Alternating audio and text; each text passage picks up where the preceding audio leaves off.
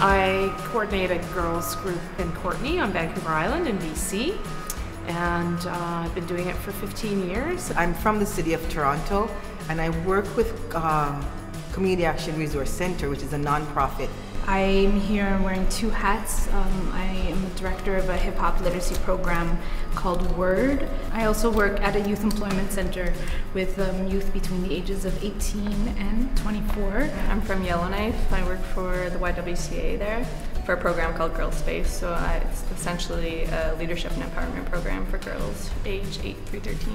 Je travaille à Les Essentiels, le groupe de femmes francophones à Whitehorse au Yukon. I'm from St. John's and I work with the Newfoundland and Labrador Sexual Assault Crisis and Prevention Center. And I am currently the director of a new collective in Montreal called Life After Life, and it is a collective that is led by um, formerly and currently incarcerated girls, women, um, queer, trans youth, and a lot of us uh, have our, our hands in a lot of different activist spaces in the Montreal area.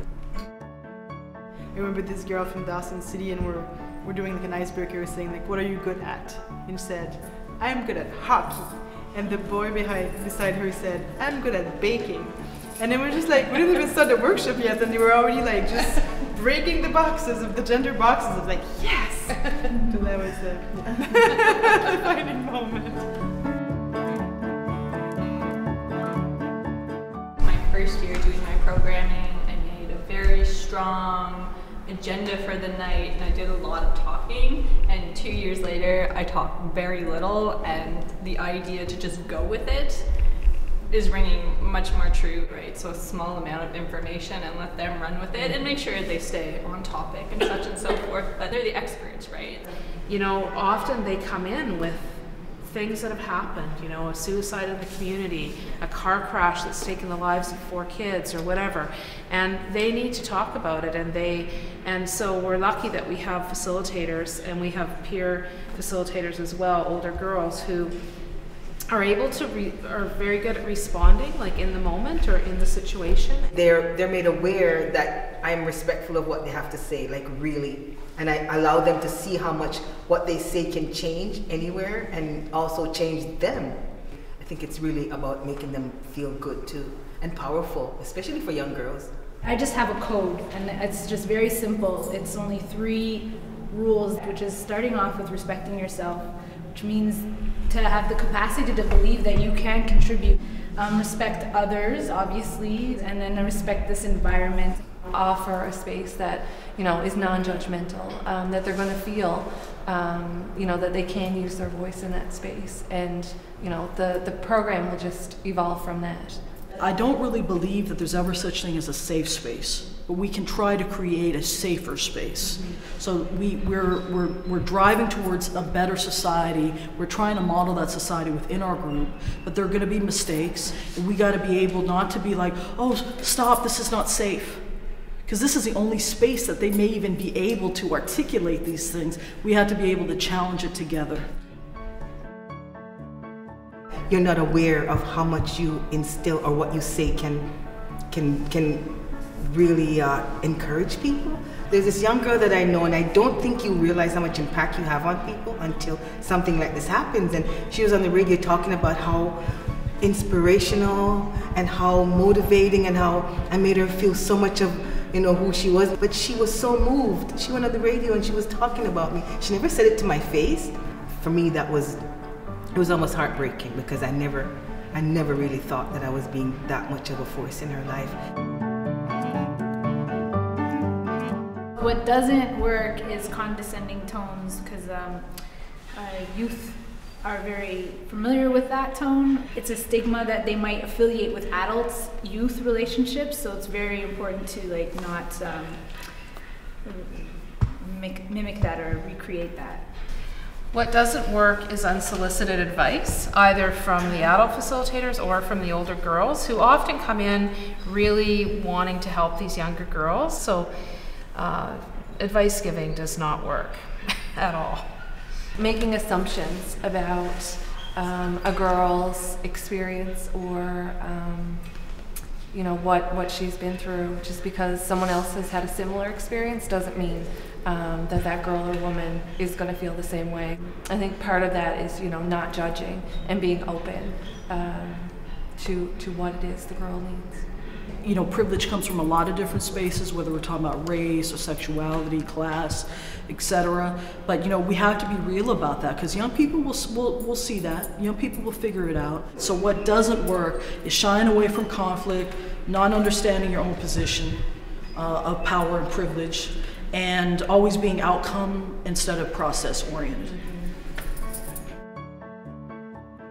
We had one girl who had some pretty significant mental health concerns. She identified that um, she had a lot of anxiety, and she came to group and she sat on the outside of the circle.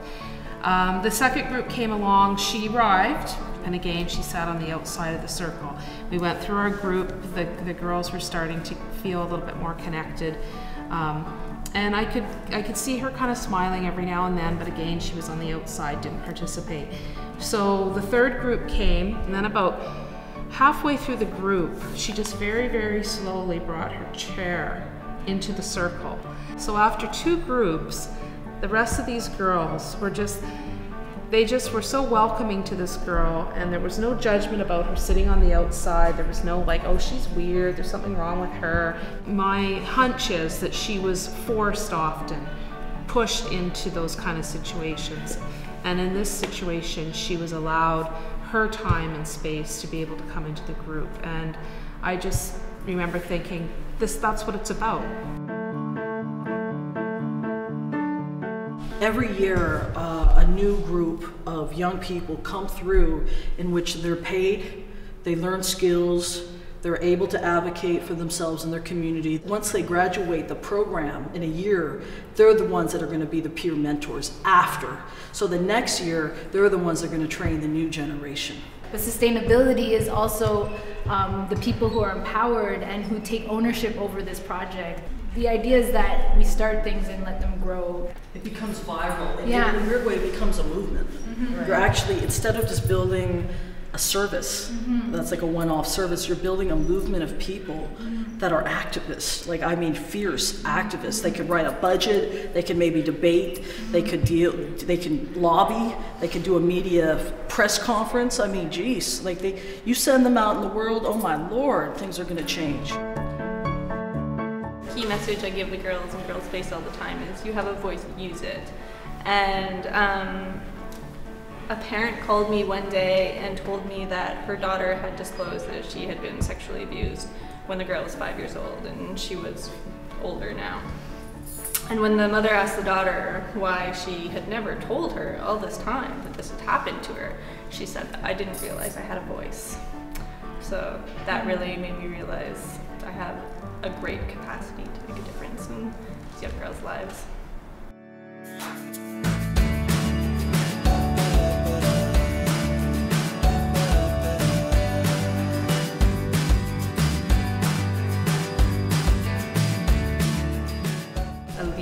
Has to go up against walls all the time with preconceived notions about whatever it is they're trying to tackle, whether girls should have a voice or girls should be this way, you know.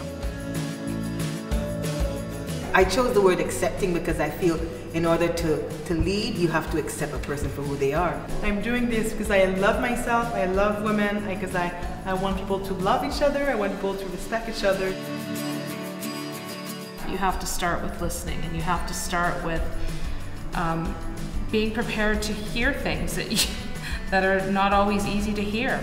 Being challenged by girls because of something that you've done that they don't like breaking barriers, breaking stereotypes, um, thinking like breaking generalizations, just trying to get out of those boxes. You have to be a risk taker to do this work. You have to be able to sometimes say, you know what, I am going to let this control issue, I'm just going to have to let this go and see where it leads and see where people take it. And sometimes where it's going may be a pretty scary place. So I would say all these all these words um, that we've come up with today: courage, um, listening, accepting, those are all qualities of a good leader, and that's what I expect in a leader.